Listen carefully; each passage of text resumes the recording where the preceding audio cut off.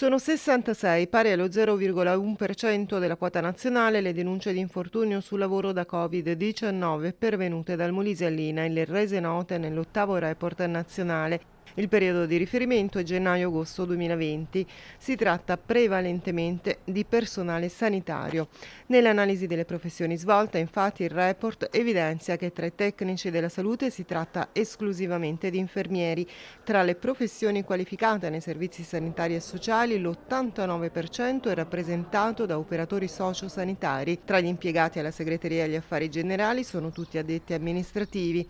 Tra i direttori, dirigenti ed equiparati nell'amministrazione amministrazione pubblica nei servizi di sanità, istruzione e ricerca, il 66% ricopre il ruolo di dirigenti sanitari. Per quanto riguarda le ricadute sulle attività economiche, a registrare la totalità delle denunce il comparto gestione, industria e servizi.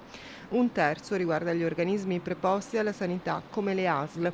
Il 21% riguarda il settore della sanità e assistenza sociale, per i due terzi i servizi di assistenza sociale residenziale e per un terzo l'assistenza sanitaria sanitaria.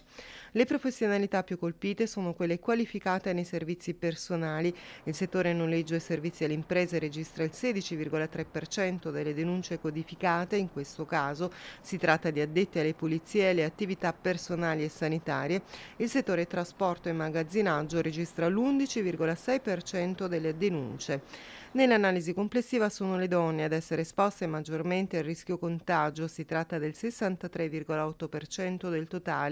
La classe di età più colpita è quella tra i 50 e i 64 anni, rappresenta il 53,2% dei casi. E la provincia di Isernia, quella con la più alta incidenza molisana, con il 59,1% delle denunce pervenute all'INAIL.